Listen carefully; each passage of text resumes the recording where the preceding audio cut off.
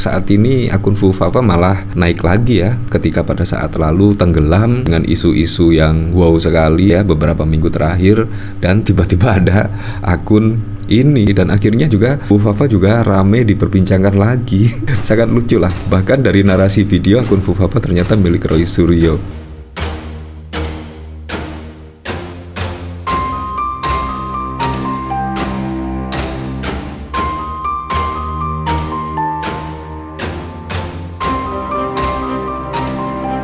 Dan sebenarnya ini ya yang tidak kita inginkan polemik akun Fufu Fafa dan bahkan ada akun yang setidaknya menyebut Fufu Fafa ternyata milik Roy Suryo. Nah memang pada saat lalu masyarakat itu setidaknya menginginkan lah yaitu pemerintah turun tangan supaya polemik akun Fufafa itu selesai. Dan dibalik dari akun Fufafa ini ya secepatnya dicari dan juga diumumkan siapa sih sebenarnya dibalik akun Fufafa ini. Bukan malah menjadi seperti ini. Bahkan ada akun TikTok yang setidaknya menyebut akun Fufafa ternyata milik Roy Suryo. Ini juga sangat lucu sekali. Nah sangat lucu sekali karena apa? Karena Roy Suryo memang pada saat lalu mengatakan 99,9% akun Fufafa ini milik Gibran Rakabuming Raka dengan berbagai bukti-bukti juga disampaikan oleh Roy Suryo dan bahkan juga pada saat lalu sudah diakui oleh adik dari Gibran Rakabuming Raka dan bahkan Roy Suryo juga sudah dilaporkan oleh pasukan bawah tanah dari Presiden Joko Widodo. Menurut saya juga kalau misalkan akun Fufafa bukan milik Gibran pasti juga langsung dicari lah apalagi juga milik Roy Suryo kalau kita lihat Roy Suryo pada saat lalu ketika dilaporkan juga langsung diproses. Ya ketika ada meme setidaknya Candi Borobudur dan lain sebagainya pada saat lalu itu juga langsung diproses. Tetapi saat ini ketika Roy Suryo dilaporkan oleh pasukan bawah tanah dari Presiden Joko Widodo dikarenakan Roy Suryo menyebut 99,9% akun Fufafa milik Gibran dan bahkan Roy Suryo juga terlihat menantang balik ya silahkan saja dan lain sebagainya. Dan itu menurut saya bukan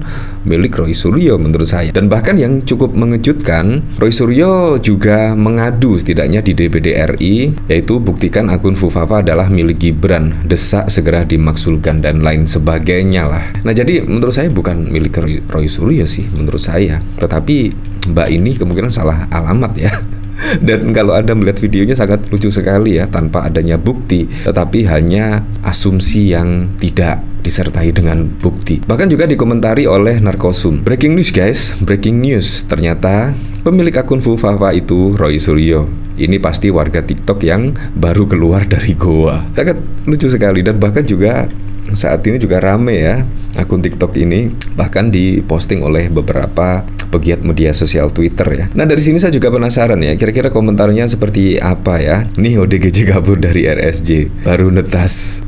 Assalamualaikum IPK 0, dibilang pinter. Nah padahal juga terkait akun Fufafa saat ini lagi sudah tenggelam, eh tiba-tiba di up lagi sama ini. Akhirnya Fufafa juga mungkin makin lama makin trending lagi ya, padahal juga sudah tenggelam. Karena sangat setuju sekali ya dengan pernyataan Pratikno ya. Kalau kita lihat dari sini Bahkan Pratikno SDM Indonesia cukup berat penduduk mayoritas low quality. Ya, ya memang kalau kita lihat pada saat lalu ya, memang pendidikan di Indonesia itu sangat rendah sekali ya kalau kita lihat dari Badan Statistik Nasional menyebut yang lulusan SD, SMP, SMA, perguruan tinggi, S2, S3 itu sangat rendah sekali dibandingkan negara-negara tetangga lainnya ya seperti Malaysia, Singapura. Jadi sangat berbeda jauh sekali dengan negara-negara tetangga dan itu juga seharusnya menjadi prioritas bagi pemerintahan Pak Prabowo dan juga Gibran bagaimana caranya membentuk SDM Indonesia yang bisa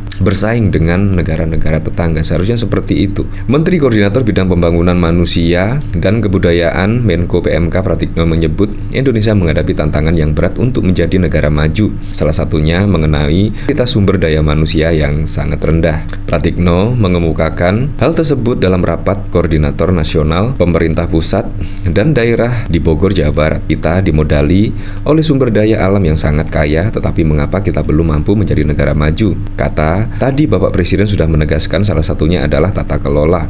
Saya akan menambahkan bahwa ada satu variabel yang paling untuk bisa menjadi negara maju adalah sumber daya manusia ujar Pratikno. Bapak Ibu yang saya hormati, kita menghadapi permasalahan sumber daya manusia dan kebudayaan yang cukup berat Itu pertama kita punya masyarakat kita penduduk Indonesia mayoritas masih low quality. Lanjut Pratikno. Wah, bagaimana menurut Anda? Apakah Anda setuju? Kalau kita lihat dari postingan ini sangat wow sekali, tidak ada bukti, tidak ada apa-apa tiba-tiba menyebut pemilik akun Fufafa adalah milik Roy Suryo. Ini juga sangat mengejutkan sekali ya. Ini juga ada pemberitaan ya dari Garut Detik terungkap akun Fufafa ternyata milik Roy Suryo. Ini buktinya. Wah, saya juga jadi penasaran ya. Dalam dunia media sosial yang semakin kompleks, munculnya akun anonim sering kali menimbulkan spekulasi dan kontroversi. Salah satu akun yang belakangan ini menjadi sorotan adalah akun Fufafa yang diduga kuat milik Gibran, putra sulung Presiden Jokowi. Namun dalam perkembangan terbaru, pakar ketika Roy Suryo mengklaim bahwa akun tersebut sebenarnya adalah miliknya. Apa yang sebenarnya terjadi? Mari kita telusuri lebih dalam. Roy Suryo yang dikenal sebagai mantan Menteri Pemuda dan Olahraga serta pakar telekomunikasi baru-baru ini dilaporkan oleh polisi bernama pasukan bawah tanah. Pelaporan itu terjadi ya seperti itulah. Nah, bukti digital yang menguatkan klaim. Dalam penjelasan Roy Suryo mengungkapkan bahwa ia memiliki bukti yang kuat untuk menunjukkan bahwa akun Fufafa berinteraksi dengan akun-akun media sosial milik Gibran dan Kaisang Pangarep. Ia menjelaskan bahwa pola interaksi dan gaya bahasa yang digunakan dalam postingan Fufafa sangat mirip dengan akun resmi Gibran. Roy Suryo menyoroti beberapa postingan ya seperti itulah pelaporan ke polisi dan reaksi publik. Apa selanjutnya untuk Roy Suryo?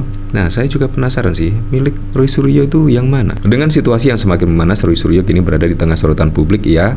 Sebelumnya pernah terlibat dalam kontroversi lain, termasuk kasus meme. Kasus ini menunjukkan betapa rumitnya dunia media sosial dan lain sebagainya. Dengan semua bukti dan pernyataan yang ada, kita harus tetap kritis dan mencari kebenaran di setiap informasi yang beredar siapa sebenarnya di balik akun Fufafa. Mari kita tunggu perkembangan selanjutnya ya. Ternyata beritanya tidak seperti itu ya. Sangat lucu sekali dan bahkan kalau kita lihat dari pemberitaan di sini ya, periksa fakta video lama diunggah dengan narasi salah Roy Suryo pemilik akun Fufafa.